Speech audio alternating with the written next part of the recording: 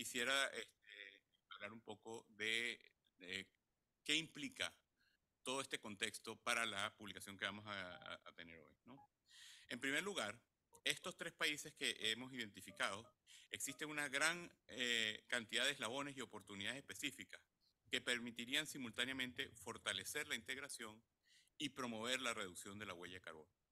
Para poner un ejemplo, en el Perú eh, ya hay sectores como la pesca, eh, pesca, eh, textiles, que presentan oportunidades ya significativas para la inserción comercial en el corto y mediano plazo. Pero es importante que esto sea acompañado con una estrategia de descarbonización.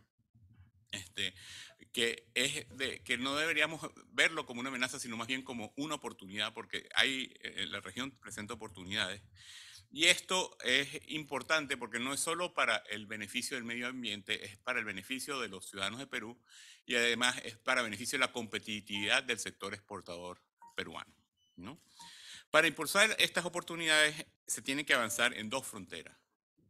La primera frontera es que lamentablemente América Latina presenta uno de los índices de integración regional más bajos del mundo y los países andinos no, están, no son la excepción.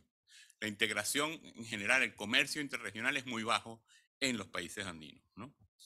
Adicionalmente, eh, este, tenemos que 17% de las emisiones de estos tres países que vamos a estudiar hoy provienen de su sector exportador, de las emisiones de gases invernaderos. Por lo tanto, esto quiere decir que hay dos agendas. Hay una agenda de integración y una agenda de descarbonización. Y el libro que les presentamos hoy presenta cinco eh, ejes prioritarios en cada uno de estos frentes. Sin embargo, eh, eh, pensando en este nuevo mundo, aquí hay que reimaginarse el proceso de qué producimos, qué consumimos. Entonces, por lo tanto, como lo plantea este libro, no podemos hablar en acciones aisladas que, tomando, por ejemplo, acceso al crédito solamente o pensar facilitación de comercio solamente, estas acciones se tienen que tomar de manera holística y tomando en cuenta la interacción que tiene que existir entre todas estas acciones. Por lo tanto, esta es una agenda que, que tiene que tomarse como una agenda integral, no si se quiere este, un menú donde voy a tomar un pedacito aquí y un pedacito allá, hay que pensar en el impacto que se tiene entre todas las agendas. Obviamente los países andinos tienen un reto adelante, pero este reto se puede convertir en oportunidad.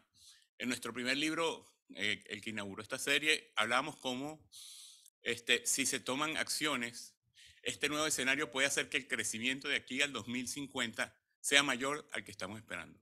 Pero entonces es importante tomar acciones hoy, entender que estos son políticas de Estado, no políticas de gobierno, y eh, emprender esta agenda de este nuevo contexto que quiero volver a, para cerrar, eh, eh, resaltar, es eh, una oportunidad para la región.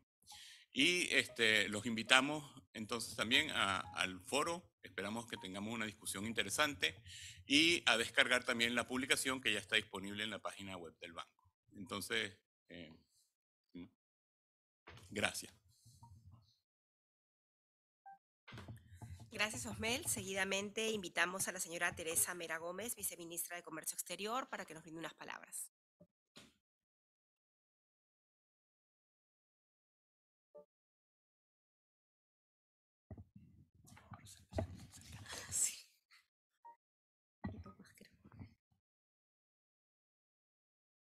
Muy buenos días. Señor Ezequiel Cambiazo, representante del Banco Interamericano de Desarrollo en el Perú. Señora Elsa Galarza, directora de la Escuela de Gestión Pública de la Universidad del Pacífico. Señor Javier Benverinotti, economista del país BIT en el Perú. Señor Gabriel Daly, gerente general de Confiep. Y estimados participantes aquí presentes.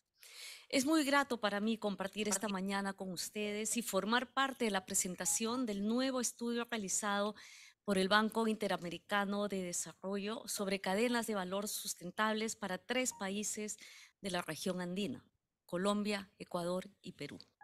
Y sobre esta base poder discutir sobre las oportunidades y desafíos que debemos abordar de forma, de forma coordinada y conjunta, sector público, sector privado, la academia y la sociedad civil para impulsar la adopción de modelos y prácticas de producción, comercio y consumo más sostenibles en la línea con la Agenda 2030 para el Desarrollo Sostenible.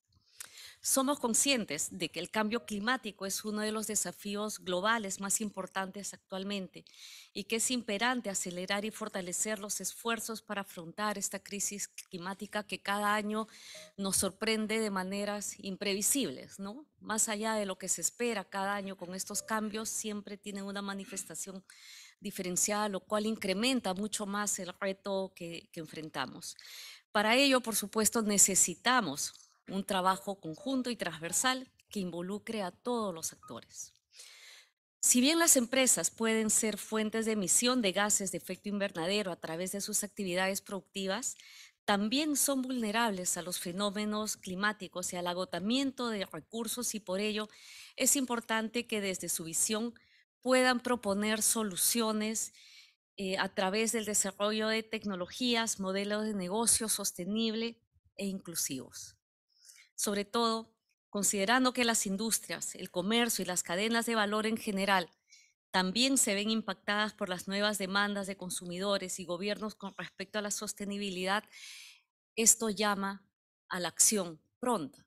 ¿no? Tenemos consumidores que cada mes demandan más información de los productos que están comprando, sobre todo de nuestros principales clientes. Estos son países miembros de la Unión Europea, Norteamérica y algunos países de Asia tenemos que estar muy atentos. Los países de la región andina y en particular el Perú, hemos desarrollado cadenas de valor de alcance internacional en base a nuestra gran biodiversidad. Pero también hemos desarrollado algunas industrias, como la industria textil y otras manufacturas que se abordan en el estudio que eh, se está presentando el día de hoy. Sin embargo, aún tenemos desafíos que enfrentar para nuestra integración en cadenas globales del valor. Ya ha sido mencionado en la intervención previa que nuestro nivel de integración aún es muy, muy bajo. En comparación, sobre todo, con otras regiones como Asia y Europa, nuestras cifras, reitero, son bajas. Tenemos un desafío y hay que tomar cartas en el asunto para hacer que los números se muevan en la dirección que nosotros queremos. Asimismo, Vemos que hoy en día la sostenibilidad es un elemento clave para la competitividad, el acceso a los mercados y la diferenciación de nuestra oferta exportable a nivel internacional, como les acabo de mencionar hace unos minutos.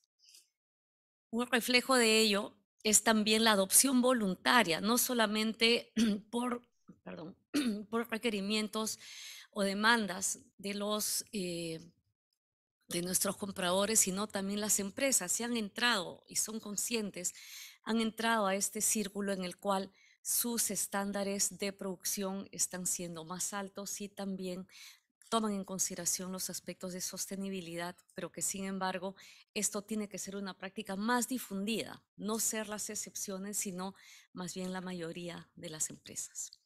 En ese sentido, consideramos que el estudio que se presentará el día de hoy es sumamente relevante y necesario. Desde el sector público es importante poder contar con esa información y el análisis que puedan ayudarnos a entender mejor el estado de situación, así como las potencialidades que tenemos los países andinos para el desarrollo de cadenas de valor sustentables.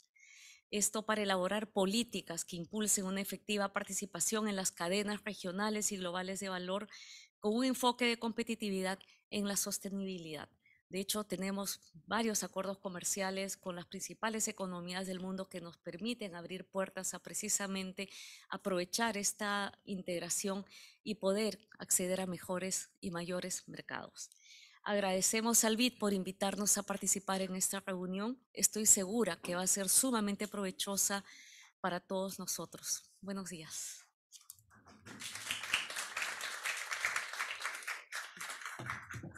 Muchas gracias, señora Mera. A continuación, invitamos al señor Javier Beverinotti, economista país del BID, para que nos presente el estudio hacia una agenda de cadenas sustentables en la región andina. Adelante.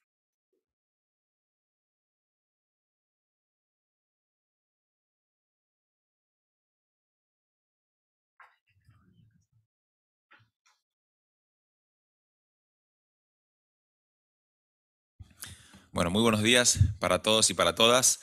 Eh, para mí es un gusto estar presentando este estudio. Eh, hemos trabajado casi dos años en el trabajo que está detrás del estudio. La verdad que fue un estudio sumamente interesante, involucró a mucha gente, somos cuatro coautores en este, este trabajo. Tengo colegas que nos están siguiendo por la plataforma Zoom, les agradezco también a los colegas que están aquí presentes. El estudio también tiene trabajo de fondo de cambio climático, de otros actores dentro del, del BID. Perdón. Y también tuvo, contó con un apoyo muy importante de parte de FE Desarrollo desde Colombia. Así que la verdad que estamos muy contentos de estar aquí presentando el estudio que, que verán a continuación. Esto es lo que vamos a estar viendo durante los próximos, espero que 25 minutos. Les voy a contar un poco cuál es la situación de partida, tanto de América Latina como de, de, de Perú específicamente, para contarles un poco cuál es la motivación de este, de este libro que estamos presentando hoy, eh, hoy aquí. Les voy a contar un poco la identificación de oportunidades que vemos en el área de integración y descarbonización. Les voy a contar un poco cuáles son la identificación de los obstáculos y puntos críticos más importantes y vamos a hablar un poco de las recomendaciones.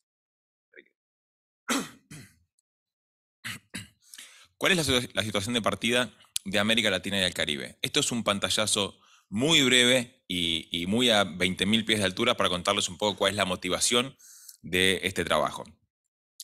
Lo que desarrollamos un poco en el libro es estos tres puntos, que es que la región presenta bajos niveles de integración a los mercados globales, como mencionaba eh, Osmel hace, hace un rato. Tenemos que Perú tiene una apertura comercial de aproximadamente el 50%, tenemos que la región tiene una apertura comercial de aproximadamente el 50%, pero vemos que otras regiones del mundo, como Oriente Medio, Europa y Asia Central, tienen una apertura comercial de casi el 70%. ¿sí? Entonces somos una región bastante más cerrada que otras regiones del mundo. Tenemos que la región ha experimentado un déficit en su comercio de bienes en la última década. ¿sí? Dos tercios de las importaciones de la región provienen de China, de Estados Unidos y de la Unión Europea, y el comercio intrarregional, las importaciones son de solamente el 15%. ¿sí? La recuperación de la inversión extranjera directa que se dio después de la pandemia no fue suficiente para alcanzar los niveles que veíamos durante la primera década de este milenio y eso es sumamente importante y relevante para esta región. En el caso específico de Perú, algunos datos es que, como les decía, tiene una apertura comercial similar al de la región. Las exportaciones fueron de 66 mil millones de dólares en el 2022, pero son aproximadamente el 5% del total exportado por toda esta región. Alrededor del 45% del total exportado es de minerales como cobre y oro, y si vemos todos los minerales probablemente lleguemos hasta el 60%, con lo cual estamos hablando un poco de lo que comentaba la, eh, la señora viceministra hace un rato, el tema de la diversificación y la falta de, la falta de diversificación que tienen las exportaciones peruanas. Perú cuenta con una inversión extranjera directa de aproximadamente el 3,5% en el promedio de la región, y si vamos a la otra pata del estudio, que es la pata de descarbonización, lo que les puedo contar es que respecto a las emisiones de gas de efecto invernadero, no son muy altas en Perú, si son solamente el 0.2% del total de emisiones globales. Sin embargo, lo que vemos es que en los últimos años esto ha aumentado 20% respecto a lo que veíamos en 2010. ¿sí? Y también lo que, vemos, lo, podemos, lo que podemos ver es que a pesar de la escasa contribución de las emisiones que tiene, que tiene Perú, es el tercer país más vulnerable a riesgos climáticos. En ese sentido, el país se ha comprometido a reducir las emisiones de gas de, gas de efecto invernadero hacia 2030 en 30%. Una última lámina para contarles un poco la motivación de este estudio es esta. Esta es un poco complicado tal vez de entender porque tiene, un, tiene, tiene unos ejes de, de, de, temas que nos inventamos o de que armamos, no inventamos, que armamos para este estudio, que es este ratio de intensidad de emisiones comparado con países como Estados Unidos, España, Alemania. ¿Y por qué tomamos estos países?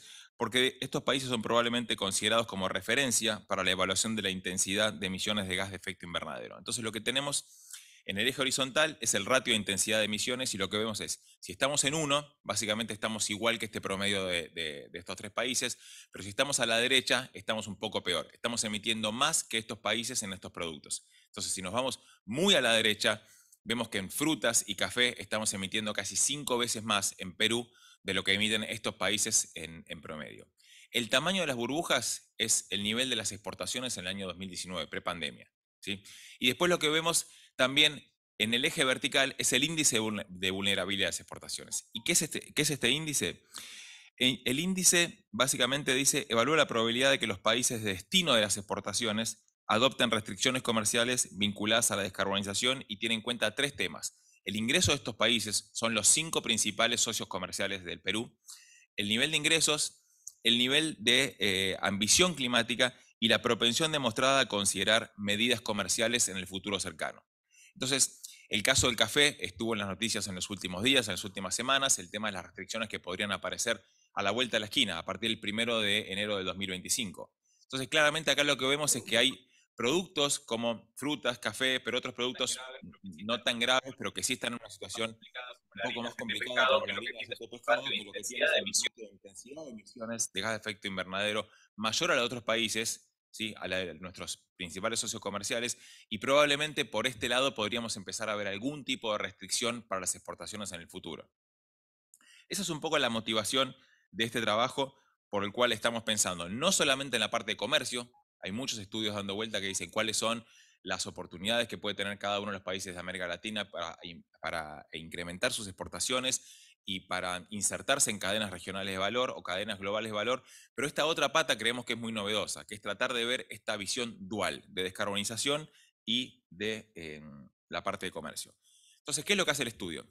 El estudio toma cuatro cadenas de valor. Pesca, textiles y confecciones, plástico y caucho y automotriz. En el caso de Perú, no estamos viendo automotriz porque es un sector sumamente incipiente en el país. Y lo que hacemos es una metodología que se llama, es una metodología top-down y bottom-up. ¿Y qué significa esto?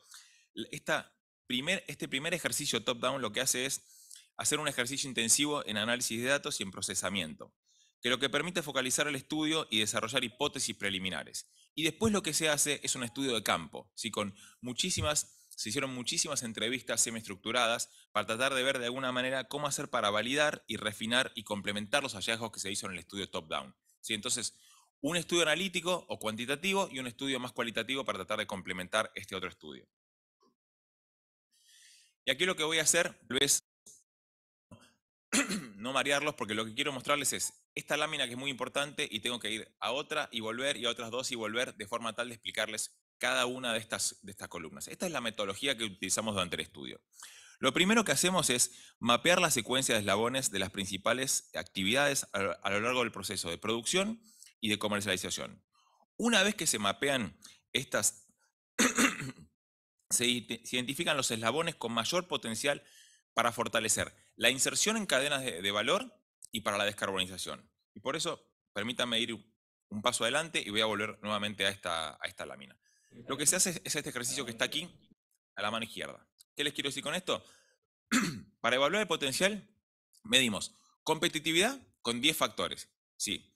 Cada uno de los eslabones de estas cadenas que identificamos va a pasar por este proceso.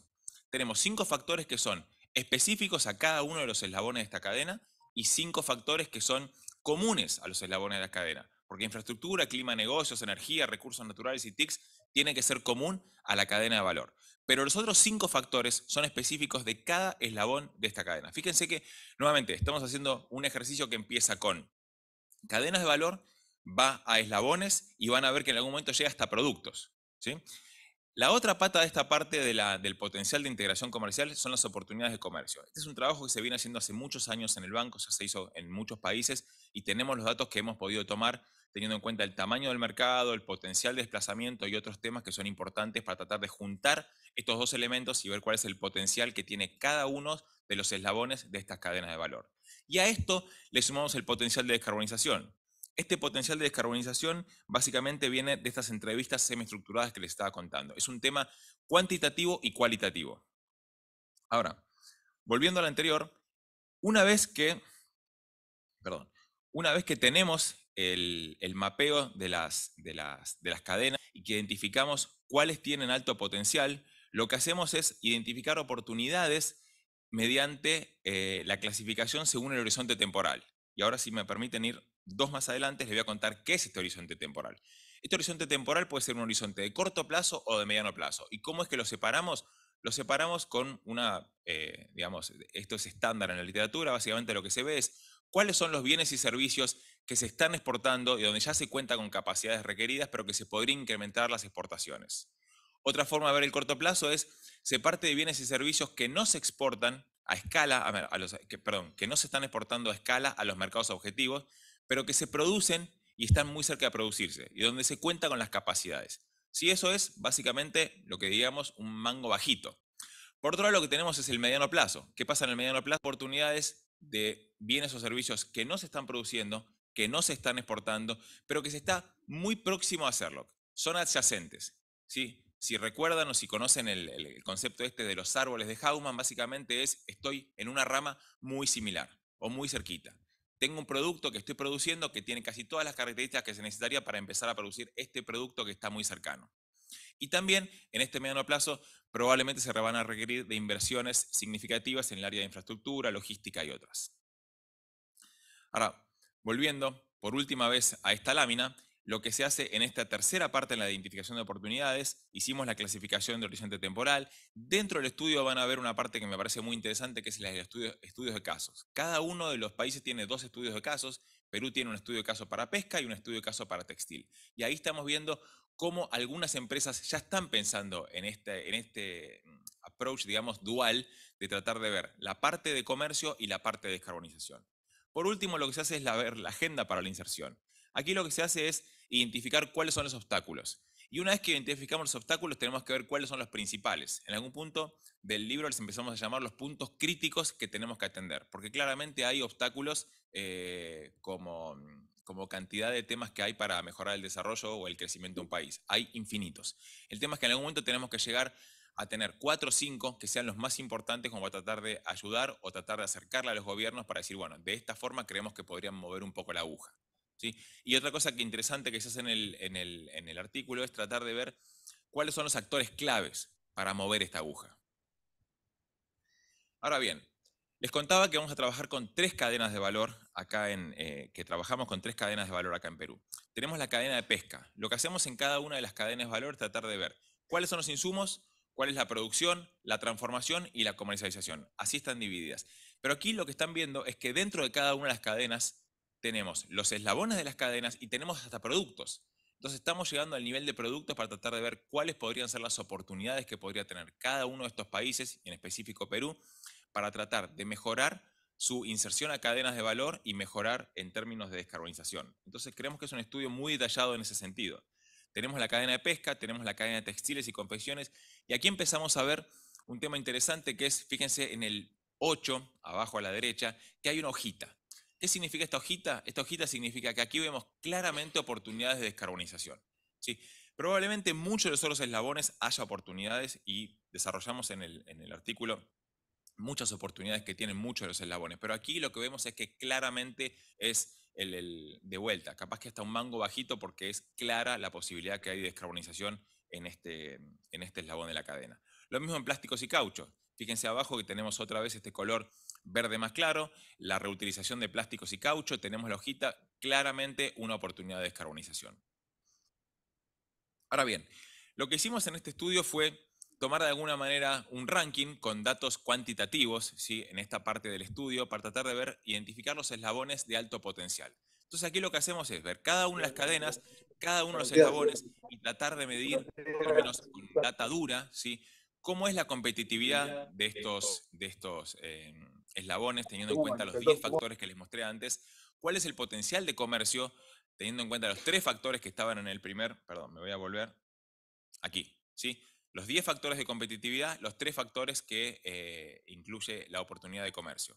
Entonces, utilizando estos 10 factores, terminamos encontrando, terminamos haciendo de alguna manera un ranking entre 1 y 5 para cada uno de estos. Eh, la metodología está explicada, está, explicada bien en el anexo del libro.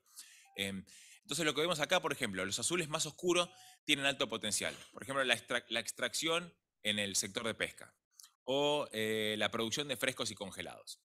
Aquí lo que hacemos es la primera pata del estudio. ¿Cuáles son las oportunidades de comercio que tienen cada uno de estos eslabones de cada una de estas cadenas? Y lo que hacemos es sumarlo a las potencialidades de descarbonización, con estas, con estas eh, entrevistas semiestructuradas que les conté y ponemos todo junto. Y esto creo que es un poco el mayor valor agregado que tiene este estudio, porque lo que hace es poner junto el potencial de descarbonización y el potencial de integración de comercio. Entonces aquí claramente lo que vemos es que las oportunidades más importantes que tiene Perú en estas tres cadenas de valor están en el cuadrante superior a la derecha. Entonces ahí lo que vemos es potencial de descarbonización alto, potencial de integración de comercio alto. Pero aquí hay una serie de mensajes más que tiene esta, esta lámina que me parecen importantes contarles. El primero es que hay un color clarito en el cuadrante a la derecha y abajo, que lo que nos está diciendo es, ojo, lo que se viene en el mundo es probablemente una serie de restricciones, nos estaba contando la viceministra hace un rato, una serie de toma de decisiones de parte de los principales importadores de nuestras exportaciones y probablemente vamos a tener que tener en cuenta toda esta parte de descarbonización de manera cada vez más importante. Entonces, no descartemos como oportunidades estas, estas, eh, estos eslabones porque son sumamente relevantes si pensamos en temas de descarbonización. ¿Sí? A pesar de no tener tal vez una super oportunidad en términos del potencial de integración de comercio. Por otro lado, si vemos el cuadrante que está a la izquierda y arriba, vemos que hay una serie de eslabones, por ejemplo, la producción de prendas de vestir, que seguramente tendrían oportunidades. Porque lo que tenemos acá es que existen oportunidades potenciales de comercio y no está tan lejos de empezar de tener, en términos de este corte en tres, de tener potencial de descarbonización. Acuérdense que estos son entrevistas y probablemente hay un poco de subjetividad en esto. Seguramente a estos también habría que tenerlos en cuenta. Pero el punto importante es que hay que tener en cuenta los dos temas al mismo tiempo, las dos patas. esto es un, approach dual. Esto sale completamente de la unidimensionalidad que tenemos de ver cuáles son las oportunidades de comercio y de ganancia comercial solamente. Y el último mensaje que quiero pasarles de, este, de esta lámina es estos dos eslabones que están aquí, pesca por extracción y materias primas e insumos para textiles. Dentro de lo que nosotros estudiamos, que son solamente tres cadenas de valor, lo que vemos acá es exactamente lo que les estaba diciendo de la, unidimensionalidad. No nos fijemos solamente en las oportunidades de comercio que podemos ya tener, porque estos son eh, eslabones de, esta cadena, de estas cadenas que tienen una alta huella de carbono. Entonces, seguramente son oportunidades, pero probablemente para que estas oportunidades se concreten y sean oportunidades reales para el país, tendría que hacerse un trabajo bien importante en la reducción de la huella de carbono en estos eslabones. Esto es simplemente un resumen, es contarles que por horizonte temporal tenemos siete oportunidades de corto plazo, ocho de mediano plazo que se explican todas en el, en el, informe. Y tenemos, el mensaje de esta, de esta lámina es que pesca es el sector que tiene más oportunidades de integración. ¿Sí? Y aquí, como les decía, vamos de eh, sector, eslabón, producto. Aquí ya lo que estamos viendo es específicamente dónde tenemos las oportunidades. En el estudio estamos contando específicamente dónde, en qué producto vemos oportunidades. Y claramente vemos que hay un nivel de complejidad distinto. En oportunidades de integración tenemos que conchas de abanico congeladas tiene una oportunidad, pero claramente tiene una complejidad menor que lo que puede tener las láminas y las placas de polipropileno. ¿sí? Y si comparamos con el mediano plazo, esto que les decía que probablemente productos adyacentes y inversiones que se requieren, podemos hablar de productos como alimentos balanceados para animales. Pero aquí estamos hablando otra vez a nivel muy micro, a nivel específicamente ya de producto. Eso me parece que una de las cosas interesantes que tiene, que tiene el estudio. Si hablamos de oportunidades de descarbonización, nuevamente pesca es el que tiene más oportunidades, a pesar de que por lo que veo las barritas son exactamente iguales, la que dice 9 y 5, pero bueno, eh, debería ser un poco más grande la de, la de pesca 9, pero es el que tiene más oportunidades de descarbonización. Y aquí seguramente no se puede leer mucho, disculpen, pero acá la idea es tratar de ver mediano, largo plazo y oportunidades prospectivas. Las oportunidades prospectivas básicamente es lo que estamos muy lejanos de tener. Probablemente podríamos llegar en algún momento, pero estamos bastante lejanos. Entonces, Simplemente, dado que tengo acá y se los puedo leer y capaz que a ustedes se les complica un poco más, les voy a leer un par. La certificación ambiental para el consumo más eficiente eh, de la energía y la dotación de infraestructura sanitaria en el ámbito de pesca, ¿sí? aquí en el, mediano plazo, en el, primer, eh, en el primero de ellos. Eso es bien distinto en términos de los requerimientos que tiene el país y las necesidades que tienen estos sectores que lo que puede ser el uso de hidrógeno verde o amoníaco como combustible. Eso es una oportunidad prospectiva, pero claramente no es algo que esté tangible ni ahora, ni dentro de cuatro, ni dentro de cinco años. Les hablaba de los casos, estudios de caso. Hay un par de estudios de caso súper interesantes en cada uno de los países, no son solamente dos, hemos visto muchos, eh, muchos casos, pero hemos tomado algunos para, el estudio. Aquí lo que les presento es el, caso de esta empresa que se llama eh, Textil Camones en Perú. Es una empresa que fue creada en 1995, que exporta prendas de vestir y que tiene marcas propias y también eh, provee a más de 30 marcas internacionales. En esta empresa lo que están tratando de hacer o lo que han empezado a hacer es producir prendas con mezclas de algodón, lo cual permite un menor uso del algodón y reduce el consumo de agua, lo cual ya tenemos esta pata de descarbonización, esta parte de, digamos, climáticamente amigable. Cuando hicimos las entrevistas, nos decían que en 2023 estaban pensando en iniciar la construcción de la primera helandería de producción de hilo sostenible con una inversión de 45 millones de dólares. Luego de esta inversión planean eh, expandirse en Colombia y en Brasil y abrir oficinas comerciales en Estados Unidos y, eh, y en Brasil. Hacia 2025 lo que están buscando es ampliar del 20 al 60% de la participación de Estados Unidos como destino de exportaciones. Entonces, ¿cuál es el objetivo del proyecto que tienen en este momento entre manos esta, empresa? Ampliar la integración vertical de la firma, incluyendo la producción de hilados de algodón y productos reutilizables, de manera de poder expandirse al mercado de Estados Unidos, Brasil y Colombia. Entonces, lo que están buscando, y tenemos un ejercicio como este de la, de, de la ampliación de la, de la, ¿cómo se llama? de la integración vertical para cada uno de los casos de estudio. Entonces lo que estamos viendo es que el potencial es lo que tenemos a la derecha, es involucrarse en otras áreas de la, de la cadena. ¿Y cuál es la idea? ¿Por qué estamos trayendo este, este, este caso?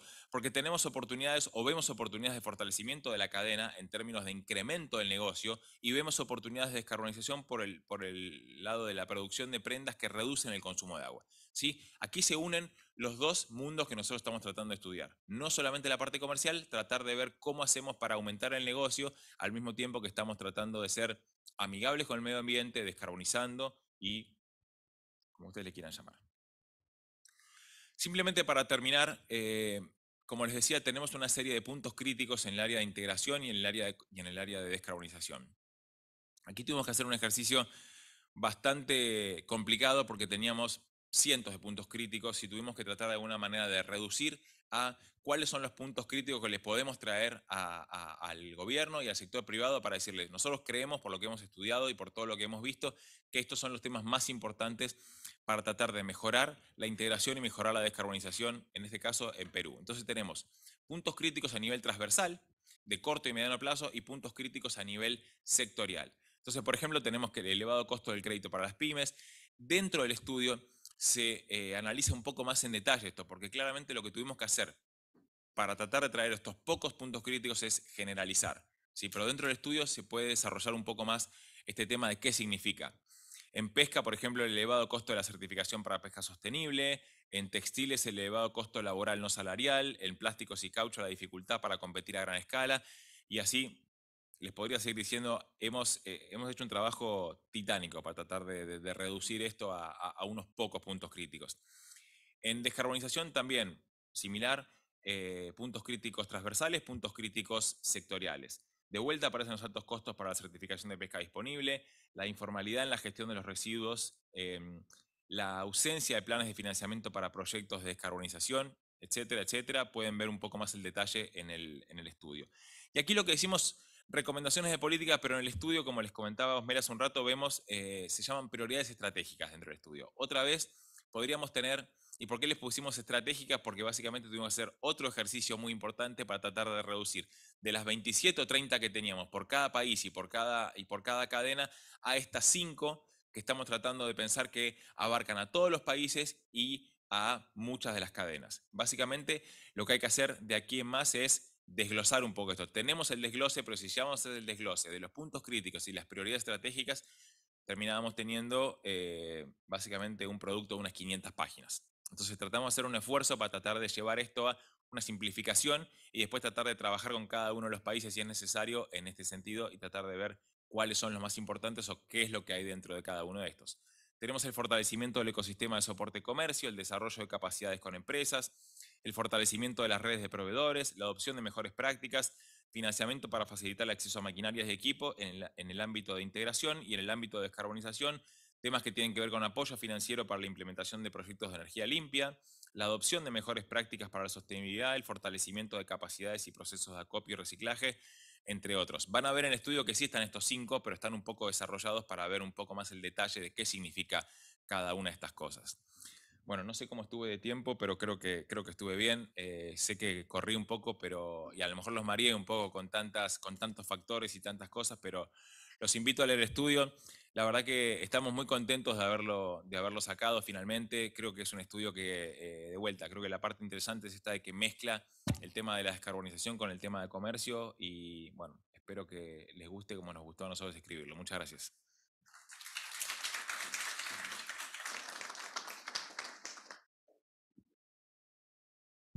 Gracias Javier por la presentación y la información que compartiste con nosotros. Y ahora daremos inicio al panel y para ello invitamos, por favor, a la viceministra de Comercio Exterior, Teresa Mera Gómez, al gerente de Confiep, Gabriel Dali, a la directora de la Escuela de Gestión Pública de la Universidad del Pacífico, Elsa Galarza, y a Osmel Manzano, quien moderará este panel.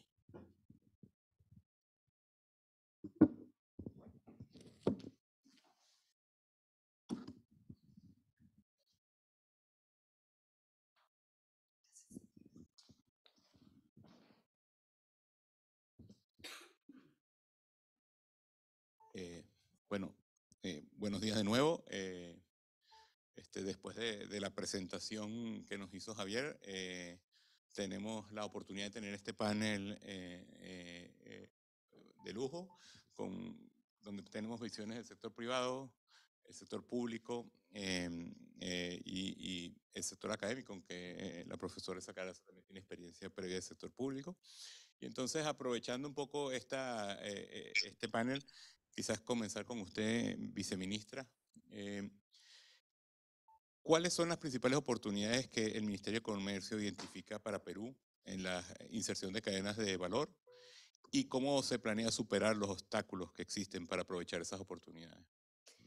Muchas gracias por la pregunta. En primer lugar, ir por la parte, digamos, de estructura. Eh, Perú es un país de pequeño, pero muy abierto al mundo. Tenemos 22 acuerdos comerciales eh, firmados, los cuales involucran a 58 eh, países y tenemos un importante porcentaje, más del 85% de, de, de, la población eh, mundial involucrada en estos acuerdos comerciales. Eso nos permite generar estos espacios que faciliten esta integración entre los países miembros y de la, eh, que se han mencionado en el estudio y aprovechar eh, los beneficios que se obtienen en los acuerdos comerciales para exportar hacia el mundo. Esta es una, digamos, una, una primera parte. Eh, luego, ya entrando a materia, Perú, eh, todos sabemos que es un país que es eh, un tremendo exportador de, de, de materia prima, de, de, insumos minerales, que son utilizados como tales en las economías más desarrolladas. Sin embargo, consideramos que existe un gran potencial para desarrollar, no todavía tal vez la industria automovilística, como, como ha sido mencionado por, por el BID, pero sí partes, piezas y tenemos un emprendimiento muy fuerte en el país, sobre todo en Lima, en el desarrollo eh, de la metalmecánica. ¿no? Hay mucho expertise que creo que se generan oportunidades que pueden permitir encadenamientos con países eh, como México, con quienes también tenemos acuerdo comercial en el marco del CPTPP y la Alianza del Pacífico. Luego también, en cuanto a la pesca, también proveemos al mundo de importantes recursos que consideramos que ya estamos listos para empezar a pensar en procesar estos productos, incluso eh, buscar estas alianzas estratégicas con socios comerciales de algunos de los países miembros de la comunidad andina y de otros países también para que puedan ser exportados y así fortalecer nuestra, nuestra cadena y de nuestras cadenas eh, de valor. Eh, finalmente, en agricultura, eh, en textiles, también tenemos estas oportunidades, y ha sido mencionado un caso del caso de Camones, y tenemos otras empresas medianas y otras un poquito más grandes que nos pueden servir como anclas justamente para aprovechar estas, este expertise que tenemos en cuanto a la elaboración de prendas de alta, de alta calidad y que nos permitiría eh, fortalecer esta capacidad de las cadenas en los eslabones intermedios de hilados y telas. ¿no? Eh, en esta línea, eh, considerando todos estos recursos, desde el MINCETUR venimos trabajando, liderando el programa de la Ruta Productiva Exportadora, que es, una, es un programa que trabaja de manera eh, articulada con el Ministerio de la Producción y con el Ministerio de Desarrollo Agrario y Riego, lo que nos permite prestar servicios a los pequeños y medianos eh, emprendedores, a los empresarios, para fortalecer sus capacidades precisamente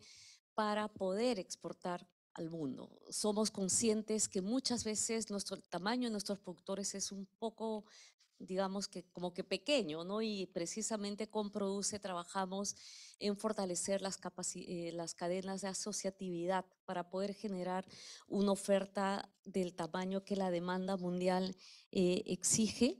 Acá eh, mencioné a dos, entidades, a dos entidades más a nivel de ministerios, pero también está eh, Ruta Productiva, eh, ahora Agromercado, ¿no? que era Sierra Selva Exportadora.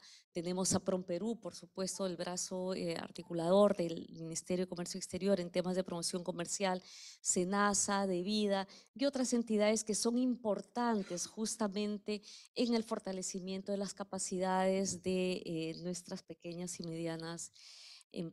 Luego, eh, también mencionar que tenemos el programa de apoyo a la internacionalización, que es un programa mediante el cual el MINCETUR ofrece eh, cofinanciamiento a diferentes instancias. Acá no tenemos nosotros priorizados sectores, sino lo que evaluamos es el plan de negocio como tal de la empresa y les damos este acompañamiento para fortalecer eh, sus capacidades. A la fecha hemos han participado 300 empresas en 17 regiones. Este programa, tanto como el de la Ruta Productiva Exportadora, se trabaja muchísimo en regiones. En Perú las exportaciones básicamente salen de las regiones, por lo tanto nuestro Nuestros proyectos están enfocados en trabajar con las diversas regiones. En el caso de Ruta Productiva Exportadora, se me había pasado a mencionar la cifra. En el plan piloto, que también se trabaja con la cooperación suiza, hemos beneficiado a 10.000 familias en las diversas regiones, muchas de las cuales ya están exportando al, al mundo.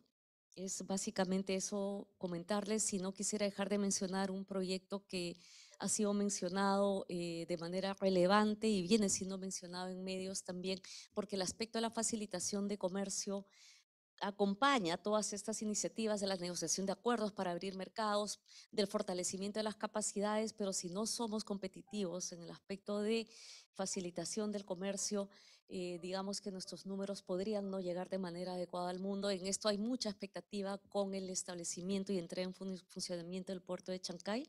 Venimos desde muchos sectores, nosotros como Comercio Exterior, Ministerio de Transportes y Comunicaciones y también el Ministerio de Economía, generando y apoyando todas las condiciones necesarias para que este puerto entre en funcionamiento pronto y en las mejores condiciones posibles, de tal manera que Perú se constituya en el hub de Latinoamérica hacia Asia. Gracias, viceministra. Eh, siguiendo con usted, profesora Galarza, pensando ya un poquito en la descarbonización, en el estudio se menciona que la primera prioridad es el fortalecimiento de las capacidades ¿no? institucionales, regulatorias, y también el apoyo a las estrategias nacionales, ¿no? ligadas a la economía circular, a la eficiencia. ¿En qué situación cree usted que está Perú y cómo cree que los socios de Perú, como el BID, podrían apoyar en este tema?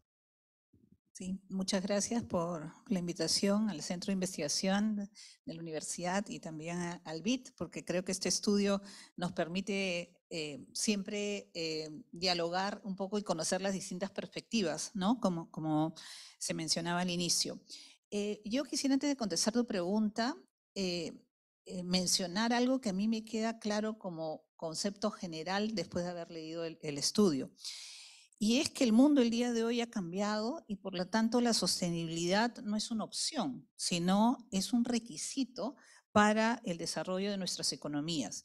Y creo que eso es bien importante resaltarlo porque todos esos estudios eh, que mencionaste al inicio, que se están justamente realizando, eh, apuntan a eso, ¿no? Apuntan a que esto ya no es un apéndice, ya no es algo que tenemos que ver este, de manera aislada y, veamos un poco más en perspectiva también la situación, ¿no? El, el, World Economic Forum en su análisis de riesgos nos menciona que los principales riesgos que enfrentan la economía en general son riesgos asociados al cambio climático y a los temas ambientales.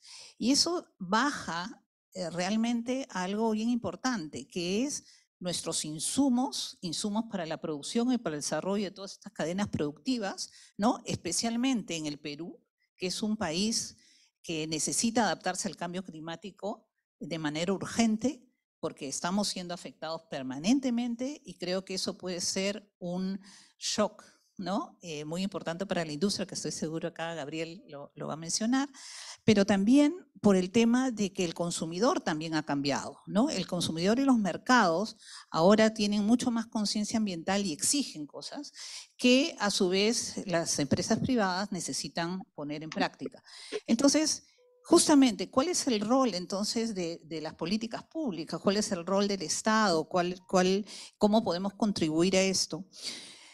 Eh, básicamente, yo creo que en términos de políticas públicas existen muchas, hasta demasiadas diría yo, ¿no? Eh, generamos leyes, generamos mucha, eh, mucha normativa, pero yo me pregunto y, creo que esto es un consenso un poco de las distintas eh, reuniones que tenemos con todos los actores de la sociedad, si nuestro problema en realidad es la legislación o nuestro problema es la implementación de esa legislación y al final del día la gestión microeconómica de todo esto que hablamos, ¿no? Entonces vamos a tener, sin duda, todos este, estamos de acuerdo con eh, promover políticas que nos permitan integrarnos a cadenas de valor. Qué mejor si estas, estas eh, empresas y estas cadenas son cadenas sostenibles, porque sin duda no espero yo retornos de corto plazo, sino de mediano y largo plazo, pero en el fondo creo que tenemos que ir a la micro, ¿no? Para empezar a em, ver ya detalles y creo yo que este estudio aporta mucho en el sentido que baja justamente a ese nivel de los eslabones de la cadena, ¿no? donde encontramos justamente esos elementos a trabajar.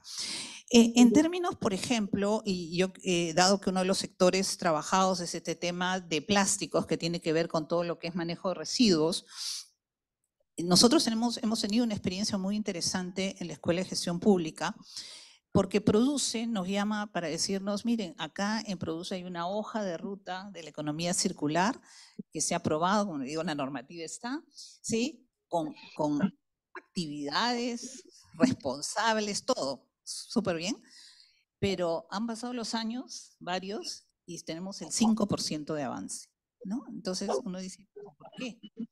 Entonces, eh, hicimos un, un curso de capacitación, digamos, pero, pero en la práctica, con los funcionarios del eh, ministerio, aquellos que toman las decisiones en las distintas direcciones, ¿no?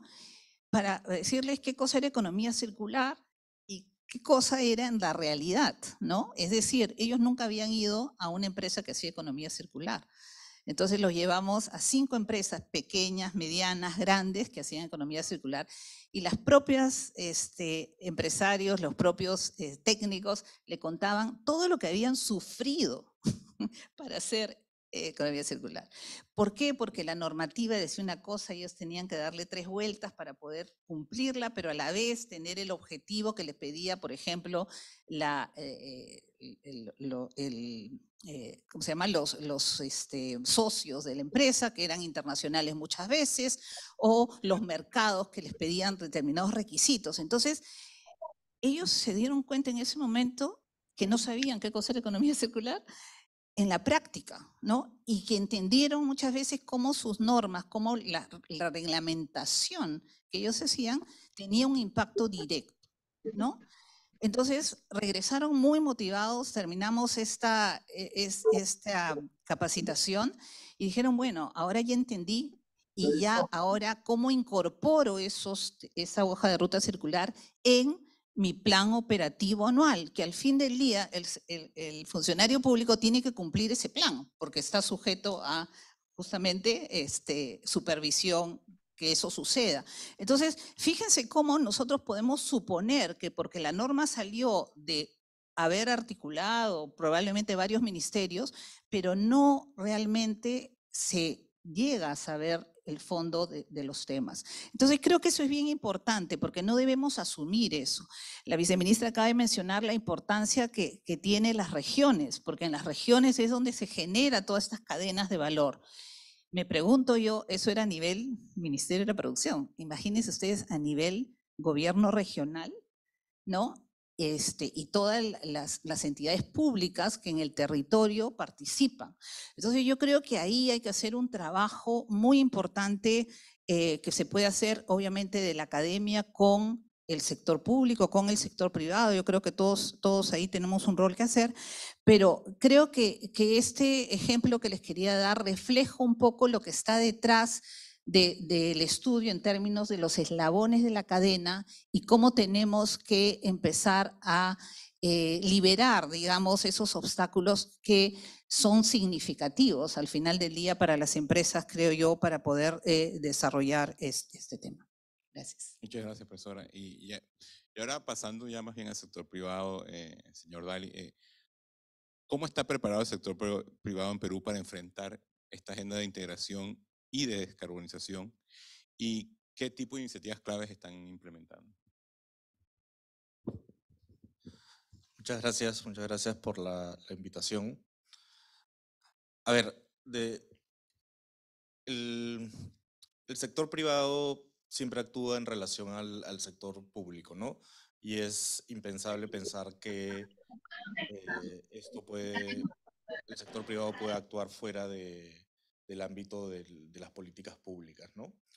Eh, yo me acuerdo cuando en la pre-etapa del TLC, cuando se estaba negociando, se calculaba que más o menos 0.02% de las empresas en el Perú podían aprovechar el TLC.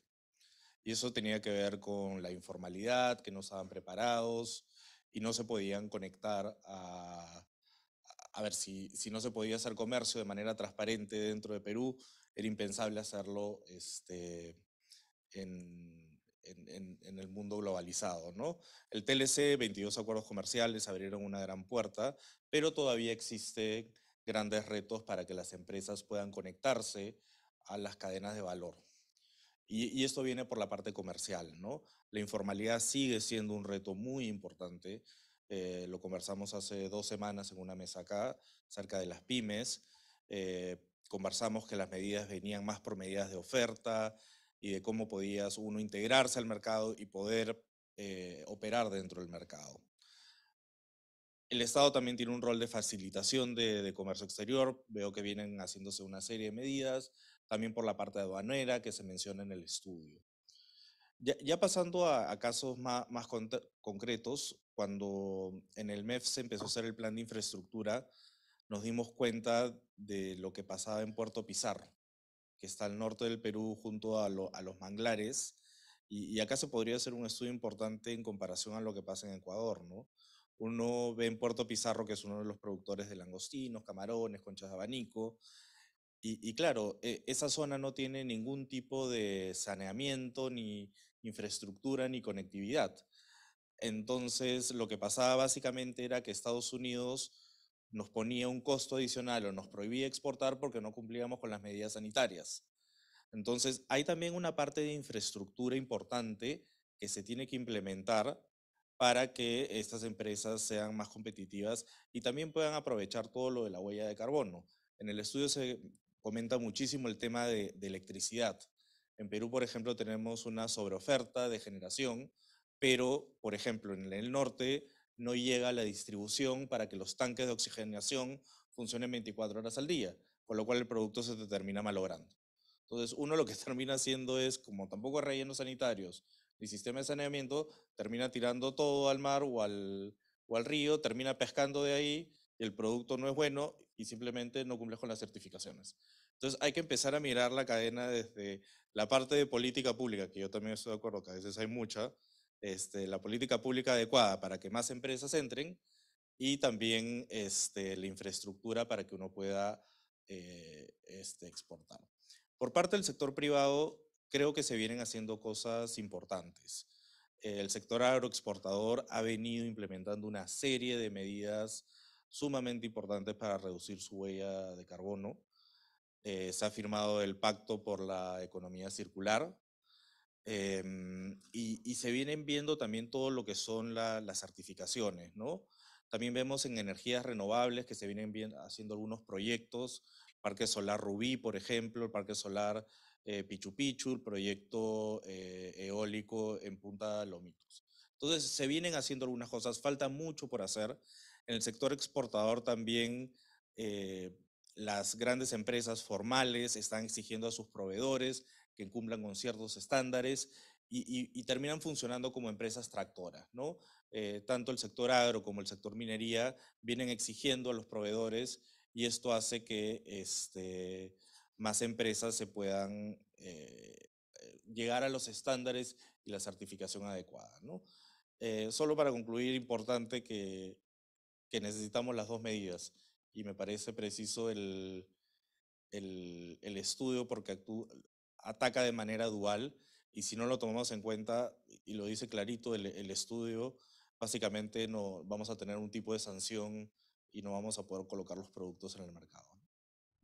Muchas gracias. Y, y pasando a este tema ya de, de agenda climática, eh, viceministra, este, considerando el contexto de cambio climático y la necesidad de prácticas sostenibles, ¿cómo está abordando el Ministerio de Comercio el desafío de la descarbonización en las cadenas de valor y su impacto en el comercio internacional?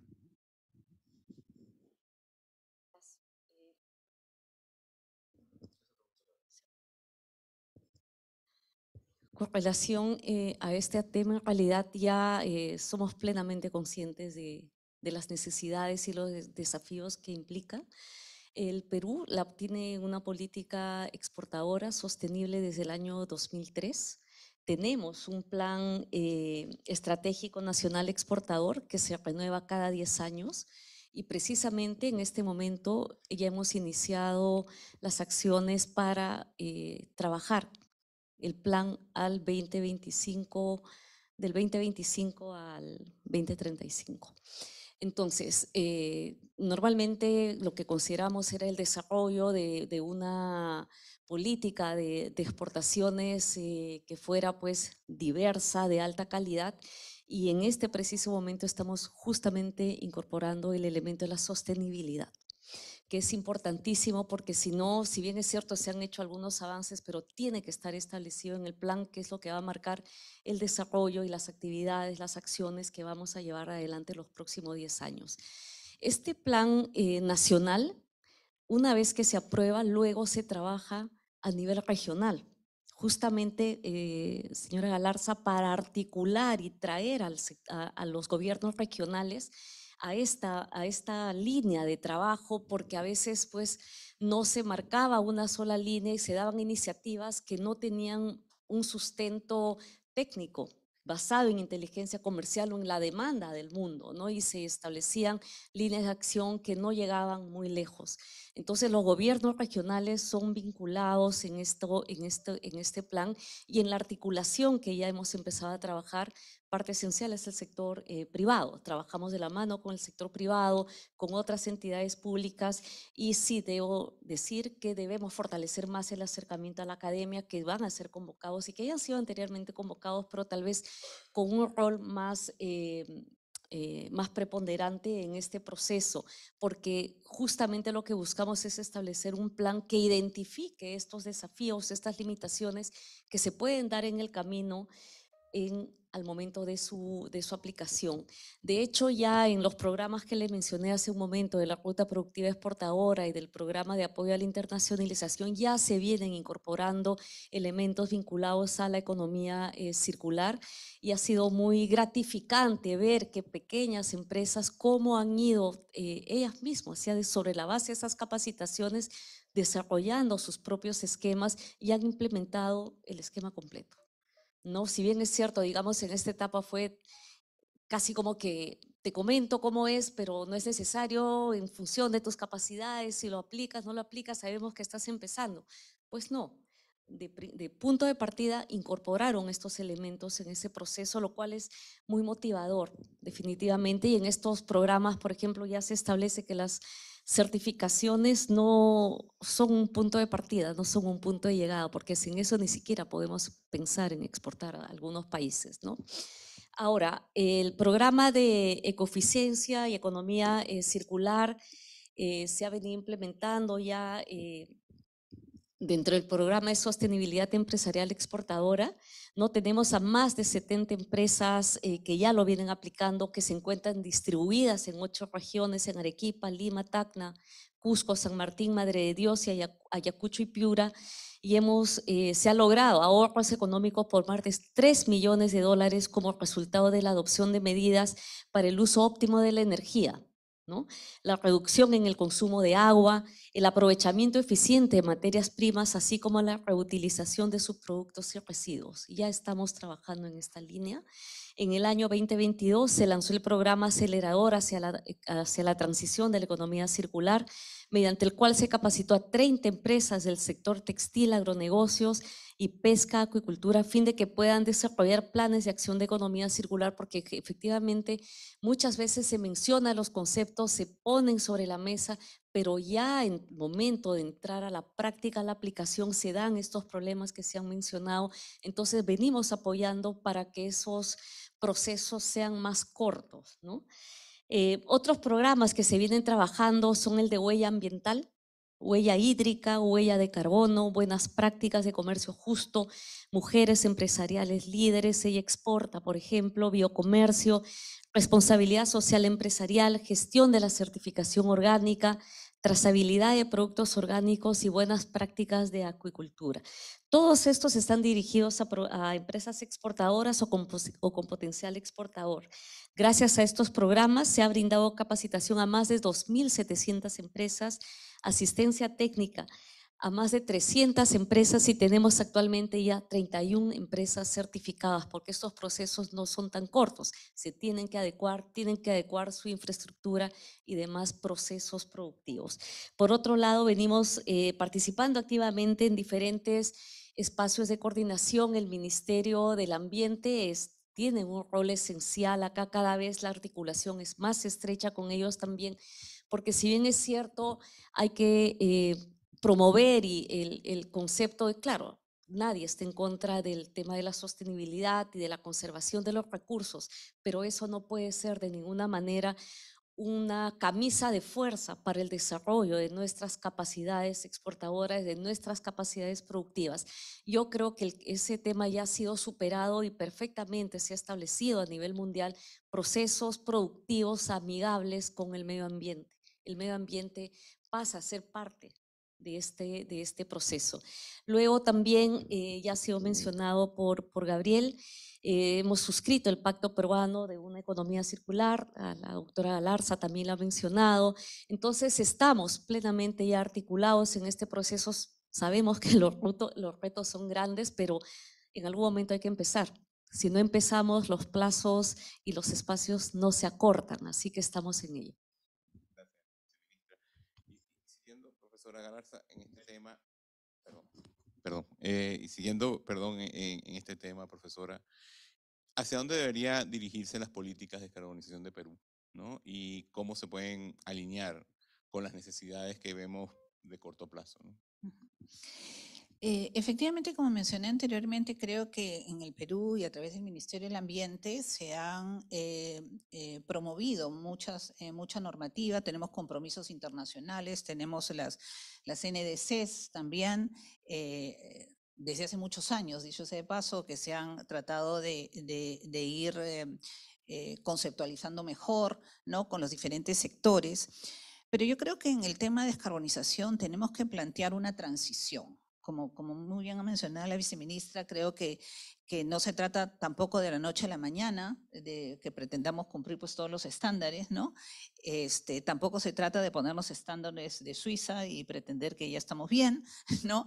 Sino que hay que tener una mirada, creo yo, mucho más realista y como lo dijo Gabriel también, tenemos eh, el 70% de nuestra economía eh, informal, ¿no? Entonces, empezando por ahí, eh, creo que tenemos que hacer un trabajo bastante más integral para que justamente estas políticas y esta transición hacia la descarbonización pueda realmente ser sostenible, creo yo, porque eh, nuevamente tenemos que generar que las empresas sean rentables para que puedan sobrevivir, ¿no es cierto? Este, no necesariamente eh, el imponer una norma eh, genera beneficios directamente, genera costos también. Entonces yo creo que parte eh, justamente de, un poco la, academia en esto es enfatizar esos temas, ¿no? Hay costos y beneficios de cualquier medida pero cómo tenemos que en el largo plazo asumir algunos costos, pero para que a largo plazo podremos ser más eh, sostenibles. Entonces creo que eso es bien importante y, enfatizar también, eh, eh, lo mencioné, no lo mencioné en, la respuesta de, la pregunta anterior, y cómo, cómo los organismos multilaterales o los países pueden ayudar al Perú, que sin duda lo están haciendo, pero creo que se necesita ahí una mayor coordinación. ¿No? Una mayor coordinación entre sectores. Eh, eh, yo estoy segura que la viceministra también ha, tenido que, lidiar justamente con, un gobierno o con un Estado muy sectorializado. Y por lo tanto, sí, pues primero yo tengo que sacar adelante mi sector y después miro el Ministerio del Ambiente que me está presionando, ¿no?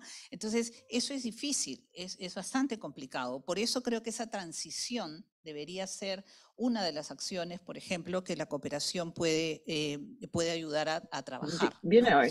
creo, eh, creo que sí. Planes realistas. Bien, ¿y tú?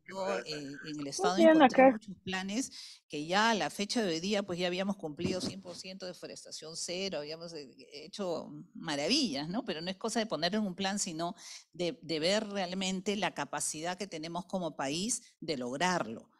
Entonces, eh, creo que ahí es, un ítem muy, muy específico y la cooperación tiene muchos instrumentos eh, que a lo largo de, varios años se han implementado en el país, como esos programas basados en, políticas, ¿no? Que logró, por ejemplo, sacar una ley de recursos hídricos, ¿no? Eso es un, aporte muy importante de la cooperación. Y creo yo que en este, en este caso, en este tema específicamente de descarbonización, podría jugar un rol muy importante el articular de manera concreta metas de los sectores para lograr la implementación de estas NDCs, que, dicho sea paso, uno siempre encuentra casos, pero uno siempre se pregunta por qué esos casos no se pueden eh, generalizar, ¿no? no ¿Por qué no, no, no podemos? Y ahí es donde nuevamente empezamos a encontrar esos elementos eh, microeconómicos que nos ponen obstáculos para, para, para, para ese desarrollo. Yo, yo quisiera eh, básicamente hablar del sector pesca, que es un sector que conozco mucho por la, investigación eh, realizada en muchos años, y coincido con, con, Gabriel el tema de que la pesca eh, es un, tiene un harto potencial, ¿no? en pesca industrial, por ejemplo, el Perú creo que eso es uno de los avances muy importantes que es las cuotas individuales de pesca, lo que muestra de alguna manera cómo instrumentos económicos pueden realmente tener objetivos simultáneos, que en este caso es ordenar una pesquería, pero también mantener un recurso natural como es la pesca. Entonces, creo que eso nos debe, y somos la pesquería más grande del mundo, ¿no? La, anchoveta, este, nosotros, no hay, no hay este, pesquería que, que produzca tanto a nivel mundial y de lejos. Entonces, si hemos podido hacer eso, yo creo que también se puede trabajar con la pesca ya eh, eh, artesanal, que básicamente es la que provee el recurso para todos estos este, productos que ustedes mencionaban en el estudio, que son los congelados, ¿no? Este, de muchas especies, porque hay pota, pero hay conchas de abanico, hay, hay muchas. Y ahí tenemos justamente ese problema que mencionaba Gabriel, que tenemos problemas de este, energía, ¿no? Eh, tenemos problemas de agua, ¿no? Y eh, nosotros exportamos tanto a Estados Unidos como a Europa, y ya la normativa nos está poniendo restricciones. Ya hemos caído en default un par de veces en el sector pesquero, que nos han detenido las, las exportaciones, y eso es básicamente porque no tenemos una flota pesquera ni siquiera artesanal registrada, no la tenemos ni siquiera registrada, no tenemos regulación de pesca artesanal, entonces los productores de estos productos tienen que hacer pues maniobras, ¿no? Para tener embarcaciones insuladas, ¿no? Con, todos los equipos, con, eh, personal capacitado y tienen que tener en los momentos que sacan esa pesca al, puerto, embarcaderos pesqueros realmente pues con, agua, que la gente esté con, botas, que la gente, o sea, tienen que hacer una cosa que solo dura en el momento que sacan su producción. Después no hay nada, no hay electricidad, nada. Entonces, realmente creo que para poder escalar justamente estas, eh, casos de éxito, tenemos que tomar acción respecto a cómo son esas condiciones que están básicamente en el tema de eh, competitividad ¿no? de cada cadena para poder justamente eh, lograr ese escalamiento y yo creo que ahí tenemos mucho, mucho potencial con gran, eh, sobre todo, impacto, no solamente en términos de descarbonización, sino también en temas sociales, porque el tema de pesca, especialmente conservas, congelado, es altamente eh, consumidor de mano de obra, ¿no? Entonces creo que ahí hay un, componente mu- muy importante. Gracias. Muchas gracias. Eh, y, y siguiendo con esta reflexión, señor Dali, aparte, digamos, del, del rol del sector público que hemos eh, discutido aquí, ¿qué rol tiene el sector privado? O sea, ¿qué está haciendo el sector privado un poco para contribuir a esta economía más sostenible? Y cómo se están alineando un poco las tendencias, no solo gubernamentales, sino las tendencias de los mercados mundiales, ¿no? que ya están reflejando esta demanda que, que había mencionado la viceministra. ¿no? Sí, a ver, el, el sector privado, y, y vamos a dividir el sector privado formal del, de- del informal, ¿no? El- la- las grandes empresas están haciendo eh, grandes cambios para poder adaptarse a las demandas de los mercados europeos, asiáticos y, y el de Estados Unidos, que son sumamente eh, exigentes, ¿no? Y no solamente con el tema ambiental, también con el tema laboral, ¿no?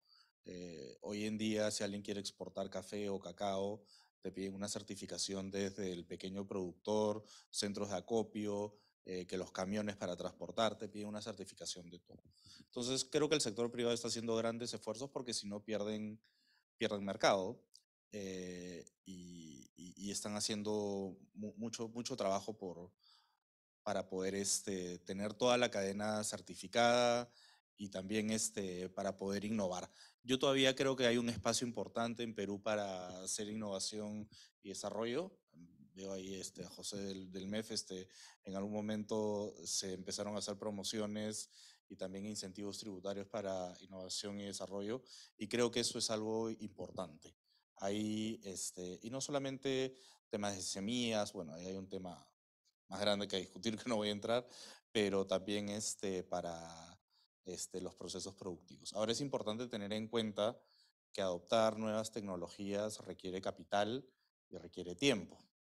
Entonces, encontrar ese balance entre adaptarse, entre poder comerse el mercado internacional y adaptar la, adoptar la descarbonización es, es un balance que hay que medirlo con mucho cuidado. Yo me acuerdo en el 2013, teníamos la COP20 y el Ministerio del Ambiente quería poner unos secas que eran de Suiza, que tenían que adaptarse de un día para otro mediante un decreto supremo. Este, y todo, y, lo que decía Elsa es 100% verdad. Yo primero pienso en mi ministerio después veo al otro. ¿no? Entonces, este, a- ahí, ahí la apertura también y el diálogo con el sector privado es fundamental, porque no puedes sacar una norma y pensar que el sector privado al día siguiente se va, se va a adaptar. ¿no? Eh, yo creo que el sector privado también hace un gran esfuerzo por comunicar. Este, a ver, nadie está en contra de, la sostenibilidad, la descarbonización, pero hay temas también de micro y temas empresariales que tienen que ser tomados en cuenta.